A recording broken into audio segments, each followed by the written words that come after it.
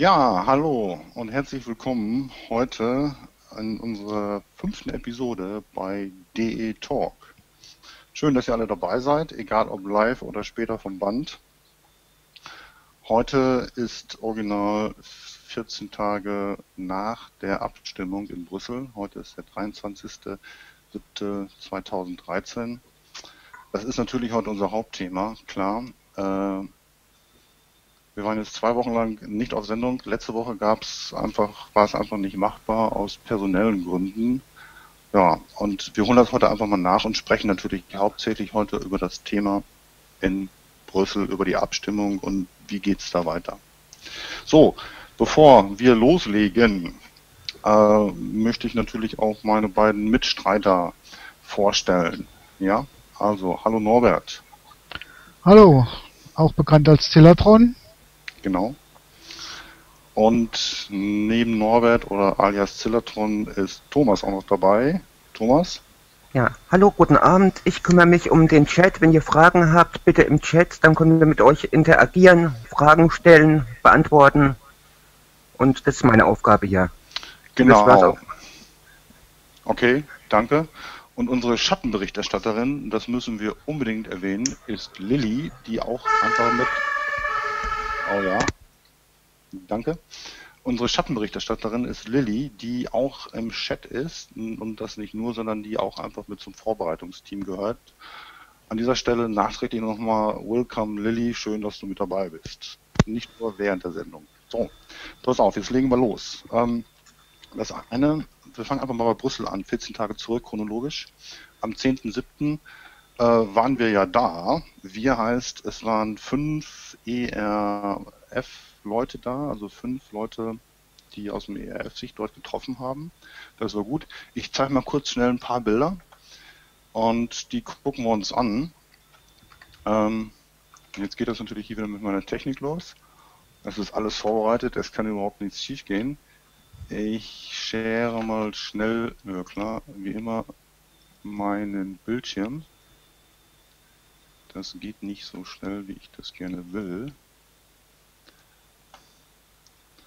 So, ich hoffe, man kann es jetzt sehen. Also, das ist mein erstes Foto, wo ich direkt vorm Parlament stand.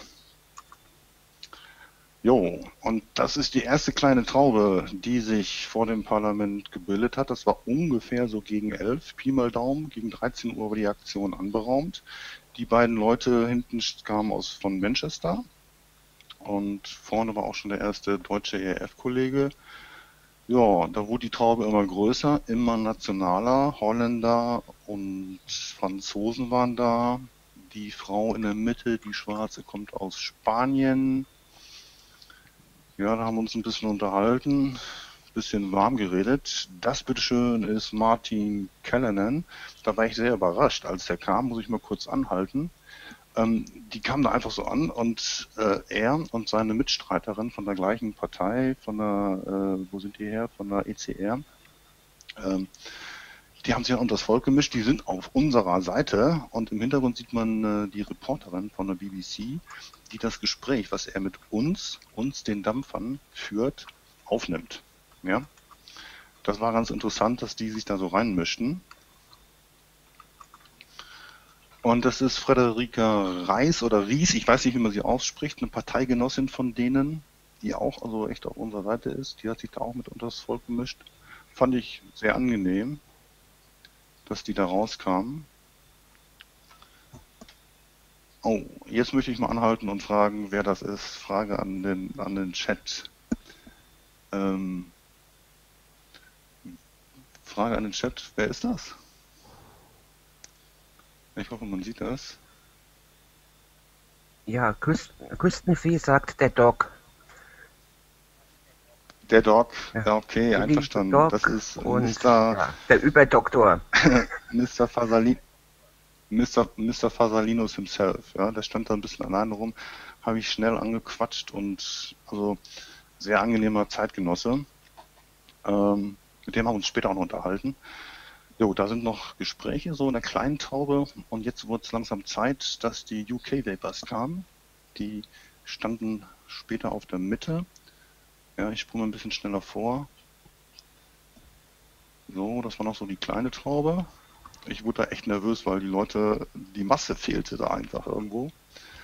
Ja, und da sind wir rübergegangen zur Mitte. Das ist also eine Wiese vor dem, äh, vor dem Parlament. Haben wir Platz gehabt. Und da fand, fand dann die eigentliche Ballonaktion statt. Ja, da ist Mr. Stimson auch zu sehen in der Mitte. Ja, da haben wir uns versammelt und auch ein bisschen warm geredet, so ein bisschen geschnackt und die Ballons aufgepustet. Das waren ganz schön viele. Das äh, Problem war auch noch, die aufgeblasenen Ballons lagen auf der Wiese da unten, so an dem Zaun nah und die wehten natürlich irgendwann mal weg. Ne? Das war gar nicht so einfach, die alle zusammenzuhalten. Ja, da stehen wir noch und pusten auf.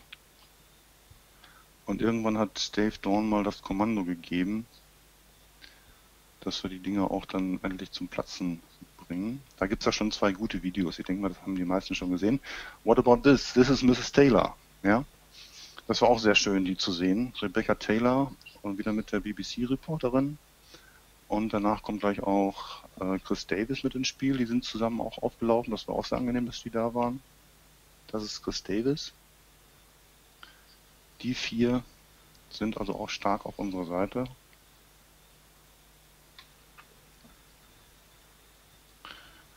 Ja, und hier vorne nochmal die beiden Kollegen aus dem ERF. Da ist Marco von Boston zu sehen.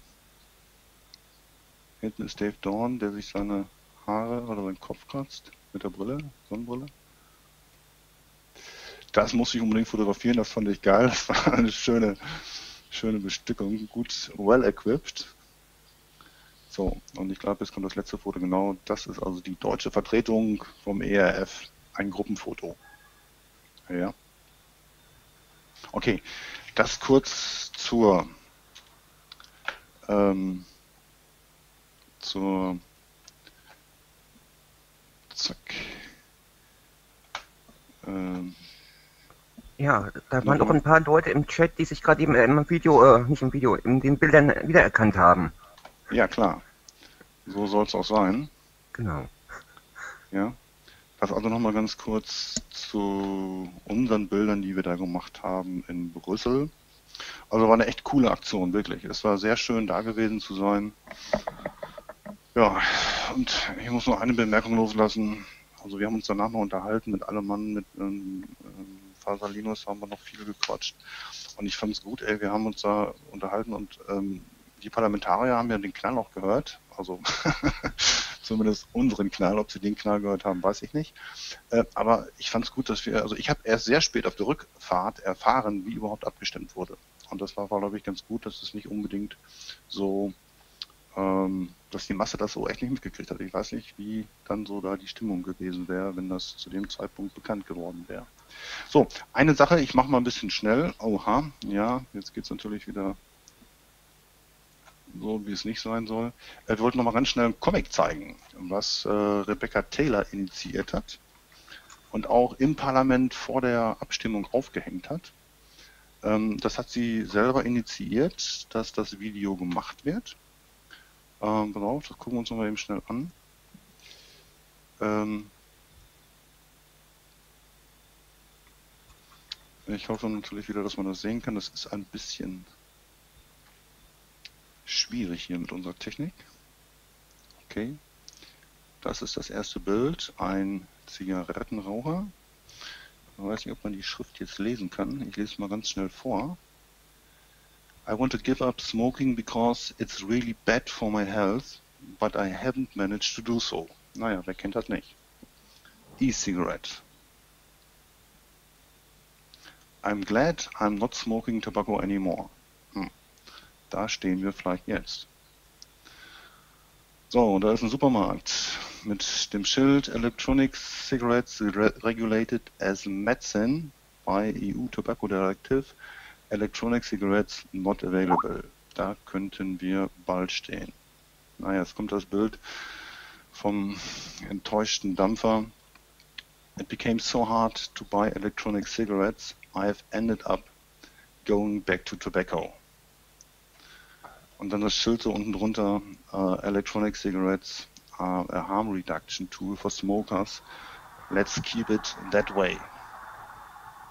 Ja, das Übersetzt das Ganze doch noch kurz in Deutsch, falls äh, ja, wir noch jemanden im Chat haben, der es nicht versteht.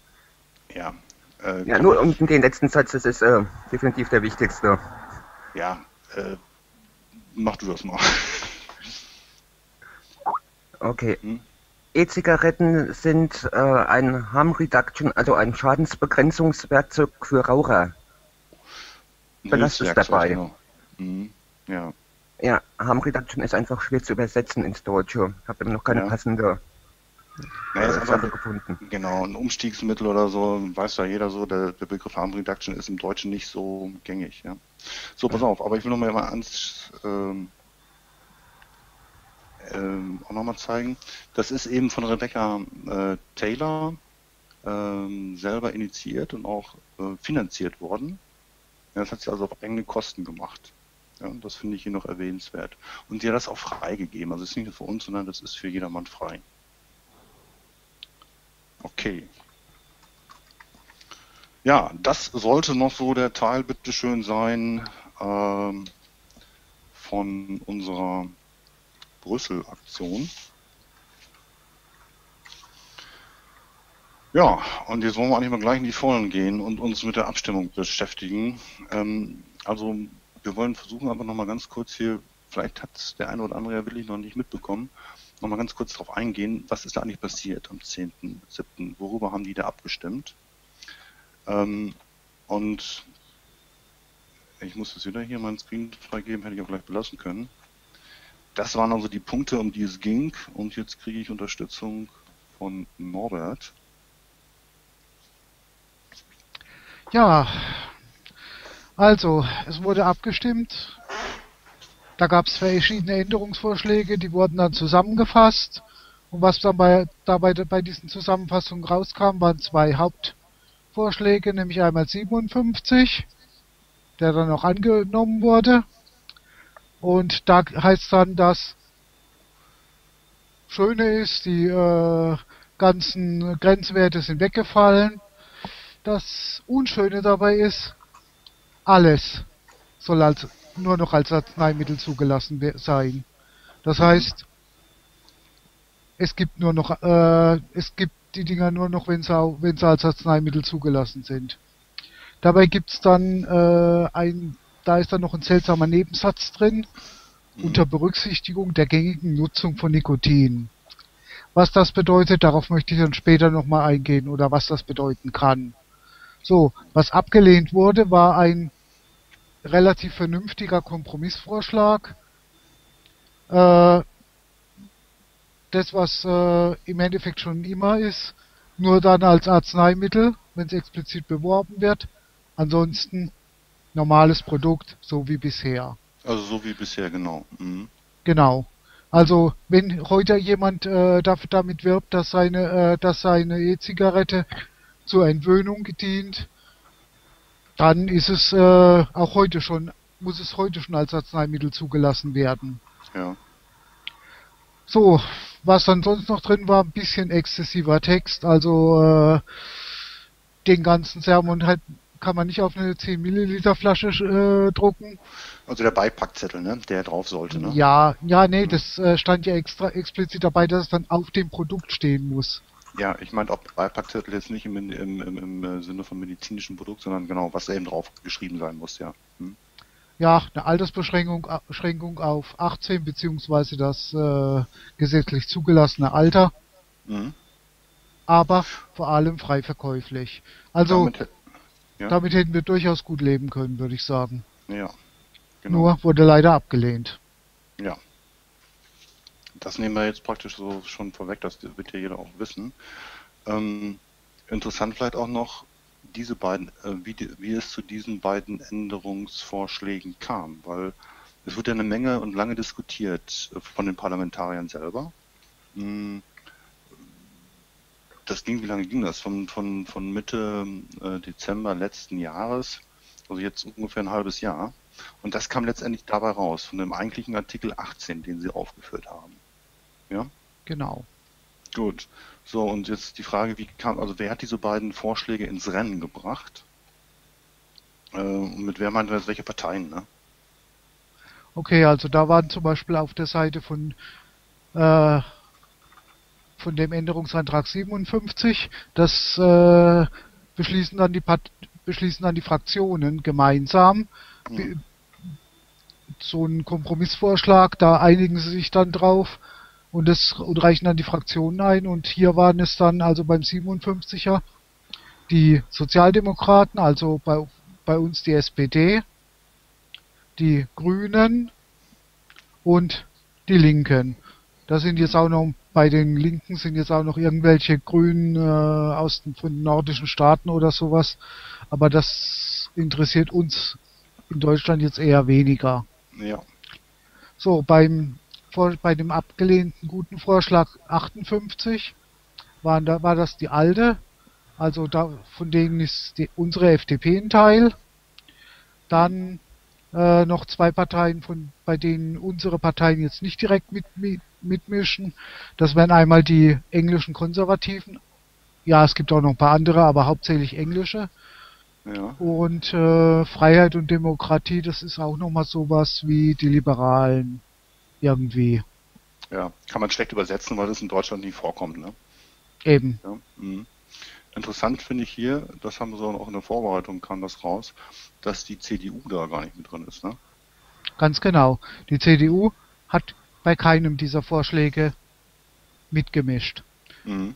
So, und da kann man jetzt effektiv davon ausgehen, dass die, die diese Vorschläge unterbreitet haben, dann auch einen gewissen Fraktionszwang haben. Mhm. Das heißt also, man kann davon ausgehen, dass zumindest die große Mehrheit der SPD, der Grünen und der Linken für den 57er, Mhm. dieses fatale Ding, äh, sich ausgesprochen haben, während FDP und die verschiedenen Konservativen und äh, Freie, Freiheit und Demokratie eben für äh, hauptsächlich größtenteils für den leider abgelehnten 58er gestimmt haben. Mhm. So. Und jetzt gucken wir uns einfach mal ganz kurz nochmal die Abstimmung selber an. Ja, also ich nehme mal hier die Freigabe wieder raus und darf Dave bitten, Dave, einfach bitte mal ähm, das erste Video, Video A, A like Alpha, ähm, abzuspielen. Haltung ist abgelehnt. Consolidated 58. Dafür? Cigarettes. Dagegen? Wir checken, wir checken Consolidated 58 elektronisch. Haben alle abgestimmt. Abstimmung ist geschlossen und damit abgelehnt. Consolidated 57. Consolidated 57.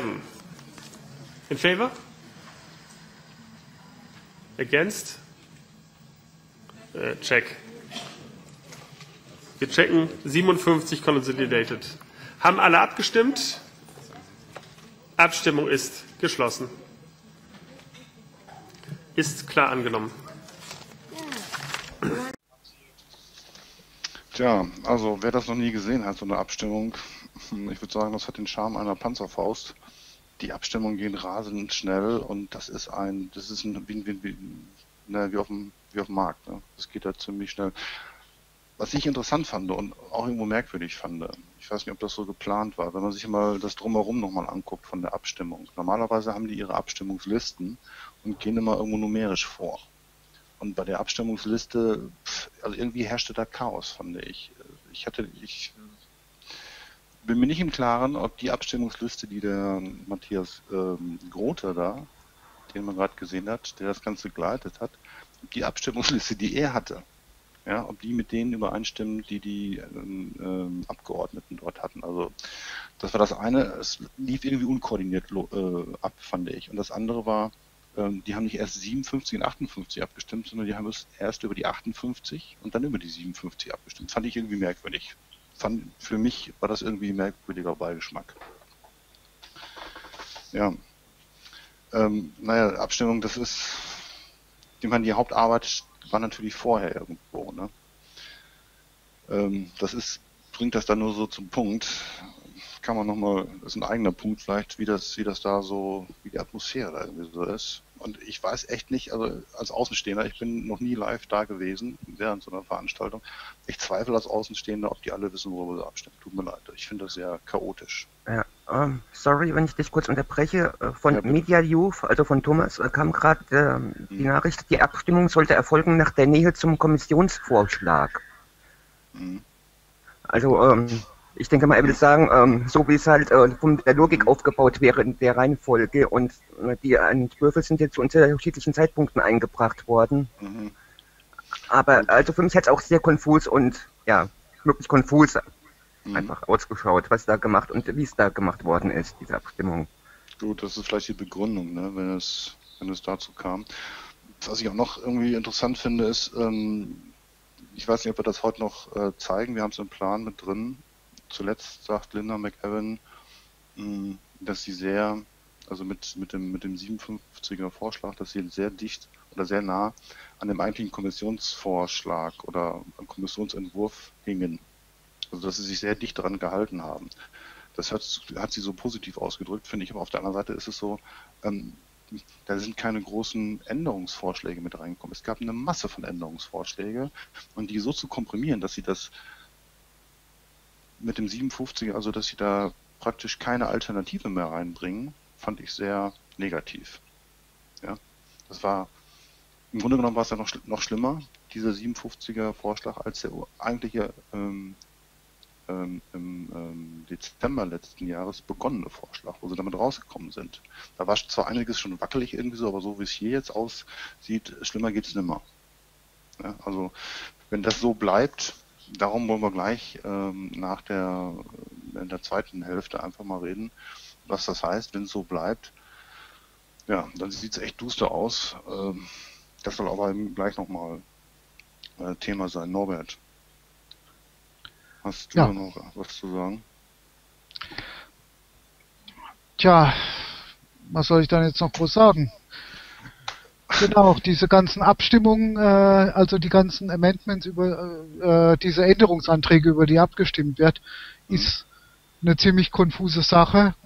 Äh, ich will es vielleicht mal ganz kurz versuchen zu erläutern, wie das äh, da so abläuft. Also da fahren, da kommen einmal die äh, Abgeordnete, also da kommt erstmal so ein Bericht. Den, hat- den er verfasst Linda, hat Linda McEwan verfasst. Dann kamen die äh, ganzen Abgeordneten vom Envy-Ausschuss und haben die Möglichkeit gehabt, hier einzelne Änderungsanträge für, zu jedem einzelnen Punkt einzubringen. Das waren die, drei, die 1300 noch was. Mhm. Dann kamen die ganzen, die fünf anderen Ausschüsse und sollten Stellungnahmen abgeben. Diese Stellungnahmen bestehen dann wiederum aus Änderungsanträgen. Und das wird dann alles zusammengefasst und da beraten dann die Fraktionen drüber und machen Kompromissvorschläge, Kompromissanträge. Mhm. Und dieser 57 und 58 waren solche Kompromissanträge. Da werden dann ganze, äh, ja, große Mengen von den normalen äh, Änderungsanträgen zusammengefasst und Ja. durch so einen Kompromiss oder mehrere Kompromissanträge ersetzt. Ansonsten äh, würde man da schätzungsweise mehrere Stunden abstimmen, wenn man alles äh, durchgehen wollte. Lass uns vielleicht nochmal eben bitte das Ergebnis angucken, ne? weil jetzt haben wir chronologisch äh, so drauf hinausgezielt. Mh, Das Ergebnis an der Stelle, wie denn genau abgestimmt wurde, von den Stimmanteilen her. Ja, Also sieht und- man schön Ja, für den Änderungsvorschlag 57 hat sich die Mehrheit ausgesprochen äh, eine eindeutige, eine eindeutige Mehrheit. leider sehr eindeutig. Ne? Mhm. Das sind Während Entschuldigung, die Ja. Zahlen da unten. Das sind 60 Prozent für Ja unten links, die 44 Stimmen. Und die äh, 27 Nein-Stimmen in Prozent sind 38. Ja, also das ist eine sieht man an den Balken, aber prozentual 61 zu 38. Ja. Das ist schon eindeutig, ja. Mhm. Und genauso eindeutig, nur mit umgekehrten Vorzeichen, Mhm. wurde der Änderungsvorschlag 58, der eigentlich gut gewesen wäre für uns, Mhm. abgelehnt. Mhm. Das war auch gerade nochmal in dem Video zu sehen, wie er das eindeutig sagte, dass es abgelehnt wurde. Ja. Also ich muss nochmal echt sagen, wenn man sich das Video dazu anguckt, weil ich meine, das ist ja der Punkt gewesen, wo es, wo es letztendlich verabschiedet wurde. Ich bin mir echt nicht klar, das gibt so ein Video natürlich auch nicht her. Ich bin mir nicht sicher, ob die Leute, die da abgestimmt haben, ob die wussten, was sie damit machen. Ich bin, ich, also ich zweifle da wirklich manchmal dran, dass die die, die, die Tragweite gecheckt haben. Ich zweifle da wirklich dran. Ich meine, das nützt jetzt auch nichts mehr, aber ich hinterfrage das echt. Ja. Ja, ähm, ich nehme mal hier mein, meine Freigabe wieder raus. Thomas, wie sieht das im Chat aus? Der Chat ist total begeistert, versteht leider nur, oder die, nur die Hälfte der Leute verstehen es leider, weil äh, wir einen Großteil englische Zuschauer haben und die wünschen sich äh, gerne diese Tabelle, die wir gerade eben hatten, zum Beispiel auch in Englisch, zum Nachvollziehen, was wir machen. Und vielleicht sollten wir noch eine äh, ja, zweite Tonspur in Englisch für eine Simultanübersetzung einbauen. Okay, wir müssen, un- wir müssen unsere, ähm, wir müssen unseren Titel ändern, ja? Ja, ja, alle sind begeistert, aber leider verstehen sie nur die Hälfte. Oder nur die Hälfte versteht die Hälfte oder so in der Richtung. Okay. Ist auch nicht zuzumuten für Lilly, dass man das spontan übersetzen kann. Das äh, spontan wird schwer, aber sie tut ihr Bestes und macht schon einiges. Ich finde es äh, wirklich Respekt, weil sie muss uns zuhören, sie muss das Ganze übersetzen und so schreiben. Mhm. Mhm. Gute Leistung, doch. Gut, das sollte bis hierhin, so hatten wir das geplant, erstmal ein Versuch sein, dass vielleicht für die Leute, die es echt noch nicht ähm, in der Form erfahren haben, sollte eine kurze Zusammenfassung sein, dass man überhaupt weiß, worum das jetzt hier ging, wor wor worüber abgestimmt wurde und wie abgestimmt wurde. Diese Abstimmung ist zwar jetzt schon 14 Tage alt, das ist klar, aber trotzdem haben wir großen Wert darauf gelegt, dass wir erstmal eine gemeinsame Diskussionsbasis haben oder dass einfach hier nur vermitteln, dass jeder genau weiß, äh, worum es da eigentlich ging. Ja. ja. Aber etwas muss man noch hinzufügen. Ja. Noch wissen wir nicht hundertprozentig, was bei rausgekommen ist, weil der Bericht liegt noch nicht Mhm. vor. Und erst wenn der Bericht vorliegt, können wir genau wissen, was, was drin steht. Weil Ja. bei dem ganzen Geklüngel vor den Abstimmungen gibt's auch noch mündliche Abstimmungen, gibt's auch noch mündliche Änderungsanträge und letzte äh, Änderungen in letzter Minute. Und äh, die sind nicht äh, dokumentiert und veröffentlicht. Das heißt, wir können erst dann wissen, wenn was, was genau bei rausgekommen ist, wenn der Bericht veröffentlicht wurde. Okay, das ändert aber nichts an der Tatsache, wie abgestimmt wurde, oder? Richtig. Das heißt also, die Grundrichtung ist eindeutig. Mhm. Mhm. Gut, ist Nur die Details können sich eventuell noch ändern. Mhm. Ist trotzdem wichtig zu wissen, im Nachhinein, wenn das schriftliche Ergebnis vorliegt, um daraus abzuleiten, wie man danach damit umgeht. Ja.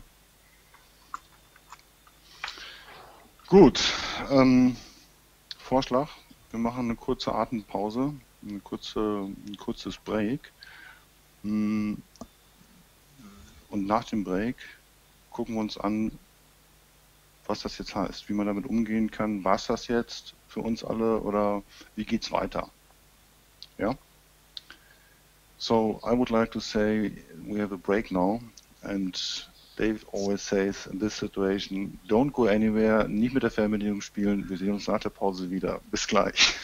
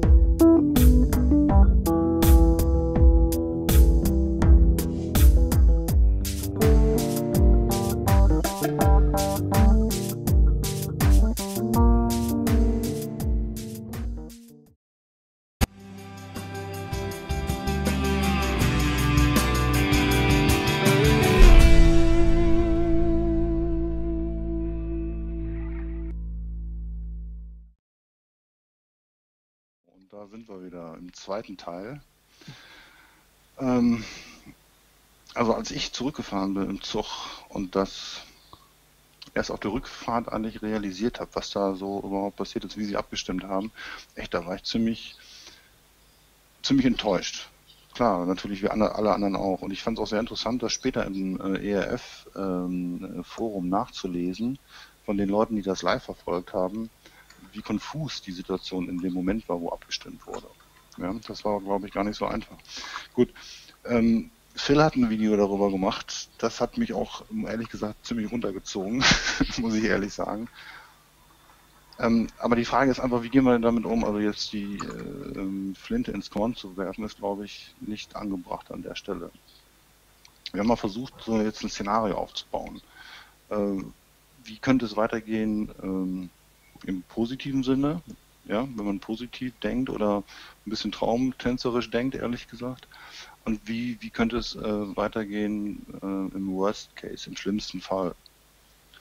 Norbert, da hast du was zu, zu sagen, ne? Zu den beiden Fällen. Ja, also im Best Case und das denke ich mal äh, ist ziemlich illusorisch, ja. sich diese Hoffnung zu machen.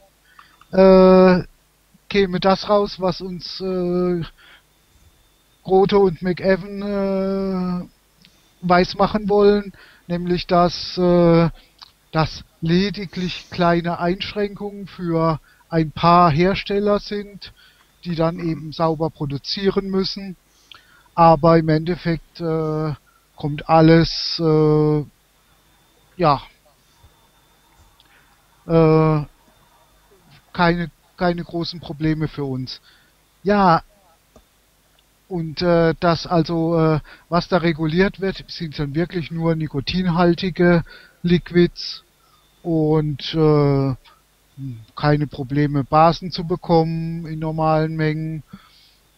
Und auch äh, von den Geräten äh, werden dann wirklich nur die Sachen als Medizin reguliert, die äh, ja, die dann schon gleich äh, integriert sind mit Liquid und allem drum und dran. Also diese Einheitsdinger von den Tabakfirmen. Ja. Ja. Das ist aber schon, aber mal ehrlich, Norbert, ne? Das ist doch schon sehr äh, schön geredet, ne? Extrem schön geredet und ein ja. Wunschtraum vielleicht, aber äh, nichts, was wirklich realistisch erscheint. Also nee. zumindest mir erscheint es nicht im geringsten realistisch. Nee, es hört sich so von dem, was man vernehmen kann, einfach nicht an. Danach hört es sich nicht an. Also wir wollen es auch echt nicht schön reden. Fangen wir mal bei der anderen Seite an. Wie sieht es realistisch aus? Also, ja, fangen wir mal, oder sagen wir mal so, gehen wir mal jetzt ins andere Extrem. Was könnte es denn im schlimmsten Falle überhaupt bedeuten? Im schlimmsten Fall. Mhm. Also im schlimmsten Fall käme dann dieser äh, Nachsatz zum Tragen, äh, obwohl dieser Nebensatz äh, im besten Fall könnte man den so interpretieren, dass die äh, da Nikotin bekannt ist, auch von diversen Entwöhnungsmitteln, dass man deswegen dann keine großen komplizierten Zulassungsverfahren braucht fürs Nikotin und äh, dass die Zulassungsverfahren dann schön relativ günstig bleiben sodass dass auch wirklich viele Leute dieses Zulassungsverfahren machen können. Nur, jetzt kommen wir mal zum Worst Case. Mhm. Zu, äh, oder beginnen wir mal einfach mit dem Zulassungsverfahren als, als Arzneimittel. Was bedeutet das eigentlich? Das klingt so harmlos. Nur, wenn da tatsächlich dieses, dieser Worst Case eintritt, dass also die volle Zulassung unbedingt nötig ist, dann bedeutet das, da müssen diverse Tests gefahren werden. Und äh, also äh, richtig, aus, Tests, richtig ja? ausgiebige Tests. Ja. Mhm. Und äh, zurzeit kostet ein Zulassungsverfahren so um die drei Millionen Do äh, mhm. Euro. Mhm. Also das muss man sich mal auf der Zunge zergehen lassen. Ein Zulassungsverfahren, drei Millionen Euro. Und wobei das Zulassungsverfahren sich jetzt genau genommen auf eine Genau. Liquid-Sorte bezieht, richtig? Genau auf ein Produkt. Das wäre Ja. dann also ein Aroma mit Mhm. einer Basenkombination, das heißt also Mhm. VG-PG-Kombination Mhm. und einem Nikotingehalt. Mhm. Also das Fläschchen, was ich heute, wenn ich in den Laden gehe, wo ich sage, das hätte ich gerne irgendwie, was weiß ich, ein 12er Liquid oder sowas, das würde letztendlich in der Herstellung einem ganzen Genehmigungsprozess, einem Lizenzierungsprozess äh, entsprechen. Und das ist Genau. ehrlich gesagt, ehrlich gesagt unrealistisch. Extrem unrealistisch. Also ja genau, für, erst recht für so wie es jetzt ist, die, die an den Anführungszeichen kleinen Händler, die es jetzt herstellen, hätten absolut überhaupt gar keine Chance. Eben. Ja. Ja. Okay, es gibt ein paar Vereinfachungen, sodass bei, äh, also Vereinfachungsmöglichkeiten, sodass man Produktvarianten etwas günstiger lizenzieren kann als Arzneimittel. Nur etwas günstiger Hm. liegt trotzdem in der Größenordnung von mindestens 50.000. Das Ja. ist schon extrem, extrem günstig. Heißt aber auf Deutsch, äh, so wie es jetzt ist, dass es ohne diese starke Reglementierung, ohne diesen medizinischen Hintergrund äh, hergestellt wird- ist es für die Leute, die es jetzt herstellen, absolut nicht möglich. Das heißt, das Ganze würde in die Pharma- oder in die Tabakseite rutschen. Und Richtig. was es, was es dann heißt, äh, ähm, mit welcher Qualität, mit welcher Vielfalt äh, und auch zu welchem Preis und zu welcher Kontrolle, das muss man ja auch sagen. Das Ganze ist dann in der Kontrolle dieser, dieser Richtung.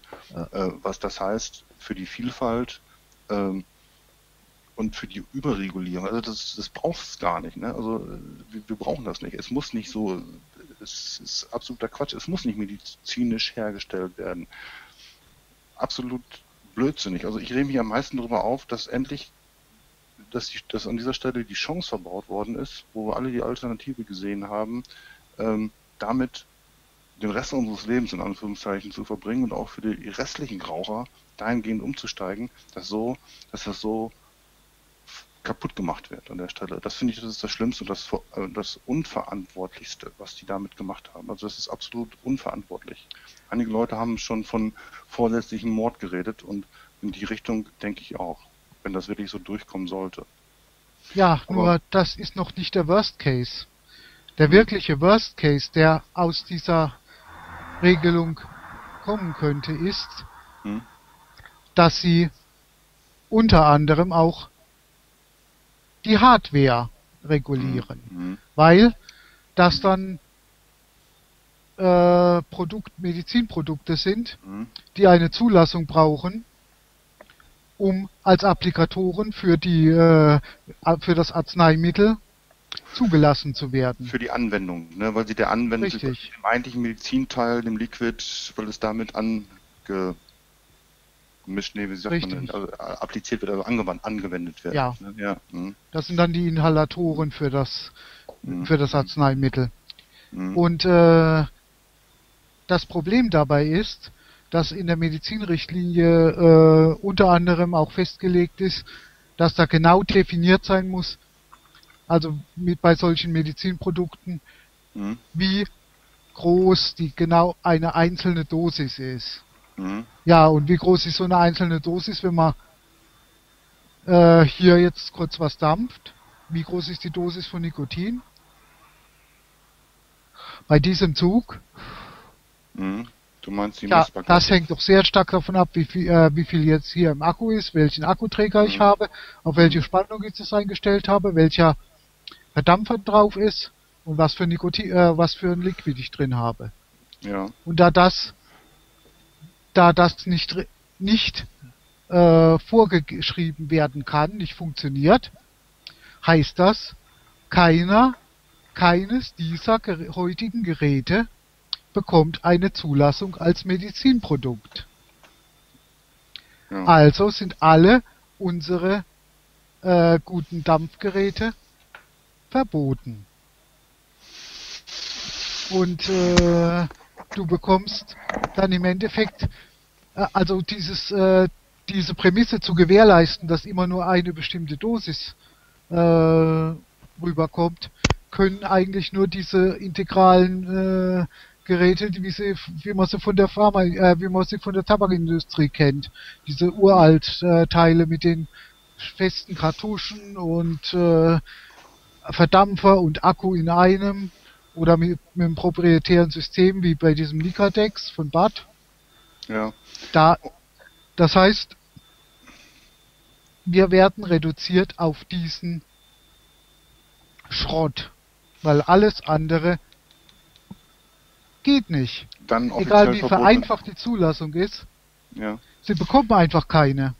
Das ist, das ist einem aus der E-Zigarette fast gleichzusetzen. Ne? Also Ja. so eine Monotonie an der Stelle äh, entspricht nicht dem, was wir alle jetzt gewohnt sind, was wir wollen, was wir brauchen, äh, um es geht nicht nur um die Freude, sondern auch um die Funktion aufrechtzuerhalten. Die Funktion, Natürlich. die sie jetzt erfüllt, die E-Zigarette, jeder so wie er sie nutzt, die wird dann definitiv nicht mehr erfüllt. Ja.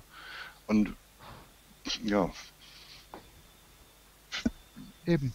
was bleibt übrig? Bleibt, bleibt, bleibt der Schwarzmarkt bleibt übrig, das ist eine Sache. Wenn es echt so hart kommen würde. Entschuldigung, wenn ich jetzt noch auf die, dich kurz unterbreche äh, oder dich ein bisschen abwürge, Norbert. Sorry, wir müssen auf die Zeit achten. Frage natürlich noch, wir können jetzt endlos lange darüber diskutieren, wie das so weitergeht, aber was kann man bis oder was können wir alle jetzt noch an der Stelle tun? Ja, ähm, ich drücke mal ein bisschen auf die Zeit, sorry. Mm, Ein wichtiger Punkt ist, dass das, was hier jetzt, was diese Envy-Kommission verabschiedet hat für sich, dass das noch nicht äh, ausschlaggebend ist. Das ist noch kein Gesetz. Das muss erst zum Gesetz werden. Und der Weg dahin, der nächste offizielle Weg von der EU ist der, dass das, was sie da beschlossen haben, diese beiden Punkte, dass das von dem ähm, EU-Plenum gelesen wird, noch, also gehört wird, nochmal durch den Kakao gezogen wird und äh, von dem Plenum nochmal abgenickt wird oder eben rejected wird. Und dafür gibt es einen Termin. Der liegt sehr dicht beieinander. Also die Lesung und die Abstimmung liegen sehr dicht beieinander. Das ist der 9. und der 10. September. Ich hoffe, ich habe das jetzt richtig gesagt, ja. Ja. Und da ist noch ein bisschen, da ist noch ein bisschen Stoff drin, dass man dagegen anwettern kann. Ja. Ja, Ähm, und zwar die, äh, zumindest hat das die Linda McEwan so geplant. In der Tagesordnung von Ja. der, äh, vom EU-Parlament steht bisher, also es ist nur eine vorläufige Tagesordnung. Das heißt, das kann sich noch ganz noch Ja. schnell ändern. Ja. Steht aber bisher nur für den 9. die Lesung. Die Abstimmung für den 10. steht dann noch nicht drin. mhm. Aber äh, so viel Dampf wie die gute äh, Linda macht, äh, fürchte ich mal, dass sie damit durchkommt und das Mhm. auch noch reindrückt. Den, die Abstimmung am 10. ja. so Ursprünglich war es Ja. für den 8. Äh, Oktober geplant. was Und es wurde schon ist, ja. vorgezogen. Ja, Fakt ist, jetzt sind so gut wie Sommerferien für die Parlamentarier. Genau. Und wir wollen auf zwei Sachen hinweisen. Jetzt spule ich mal vor und bin ein bisschen unhöflich. Entschuldigung, Norbert, wenn ich ein bisschen abbremse. Äh, eine Sache, darauf wollen wir unbedingt hinweisen. Und zwar gibt es eine groß angelegte ähm, Demonstration am 21. August in 31. 31. August, Entschuldigung, genau, in Berlin und in Düsseldorf. Die Seite, wo man das Ganze nachlesen kann, heißt dampfer-demo.de und da wird stark aufgerufen, ähm, dass alle Dampfer sich da bitteschön äh, versammeln und auf einen der beiden Orte ähm, schlechtes Deutsch, dass, dass man da einfach hingeht und mitmacht bei der Demonstration. Ja, ganz wichtig. Und genauso wichtig, ähm, in der Zwischenzeit hat sich im ERF eine coole Aktion herausgestellt, nämlich eine Postkartenaktion. Also wir haben immer aufgerufen, die MEPs anzuschreiben, die Parlamentarier. Das war ja auch gut, das hat auch was gebracht. Ähm, um jetzt die Sommerpause zu nutzen, in Anführungszeichen, und die, die, diesen, äh, die Abstimmung im Plenum ähm, noch so gut es geht irgendwie zu beeinflussen, ist die Idee entstanden, nicht mehr Briefe oder E-Mails zu schreiben, sondern Postkarten. Postkarten fallen auf. Postkarten sind individuell. Ja, also da nochmal der eindringliche Aufruf: Macht mit und schreibt Postkarten. Ähm, ich habe das auch gemacht. Also ich habe ja einfach, jetzt muss ich wieder auf die Zeit drücken. Ich habe hier 89 oder 85 Postkarten auch handschriftlich adressiert. Ja, ich zeige das mal so äh, und habe da hinten einfach ein Bild von mir drauf gemacht und einen Text zugeschrieben, dass ich damit nie einverstanden bin, was da passiert. Hab unten auch ganz groß drauf geschrieben, E-Zigaretten leben. Damit kann noch einfach versucht werden, das ist noch so das letzte Quäntchen Hoffnung, was man hat, die Plenumgeschichte zu beeinflussen. Und als letztes, Entschuldigung, ich habe immer die tolle Aufgabe hier, äh, die Zeit in den Blickwinkel zu bringen. Am Schluss möchten wir bitte schön mit, einem, mit einer von mehreren Karikaturen aus dem ERF von der Dampferperson Hope enden. Wer das noch nicht gesehen hat, der soll sich das bitte nochmal reinziehen. Diese Karikatur bringt äh, den, diesen, den Sachverhalt echt sehr spitz und sehr genau auf den Punkt. Einfach mal gucken im ERF ähm, nach Hope. So heißt die Dampferperson, die das kann. Finde ich wahnsinnig toll. Dankeschön dafür auch, dass wir das hier zeigen dürfen. So, Entschuldigung, wenn ich jetzt so unhöflich bin. Wir sind mit der Zeit rum, Kinders. wir sind ja. schon drüber. Also ja, ich wollte nur ganz kurz noch was einwerfen, ja. was im Chat kam von Michael Kleinefeld. Er hat gesagt, ähm, ich soll unbedingt nochmal darauf hinweisen, die einzelnen MEPs zu kontakten, die im Einzugsbereich von jedem äh, selber sind. Auf lokaler Ebene. Schreibt die an, schreibt die mit einer Postkartenaktion an, dass sie eine Postkarte von euch auf den Tisch sehen, wenn sie aus dem Urlaub wiederkommen. Genau, das wäre doch die richtige Stelle für die Postkarten. Genau. Das kann man sehr individuell gestalten, höflich gestalten, natürlich immer höflich bleiben, aber eindringlich darauf aufmerksam machen, dass es so nicht geht. Gut. Ich sage schönen Dank fürs Zugucken, für die Teilnahme heute. Ähm, und ich sage an dieser Stelle schon mal Tschüss und ihr beiden wollt das bestimmt auch noch schnell machen. Tschüss und gut Dampf. Ja. Bis hoffentlich nächste Woche. Thomas sagt auch schon noch Tschüss. Ja, bis nächste Woche. Vielen Dank fürs okay. Zuschauen. Wir sehen uns. Ohne Kampf kein Dampf. Alles klar, bis nächste genau. Woche. Tschüss. And off.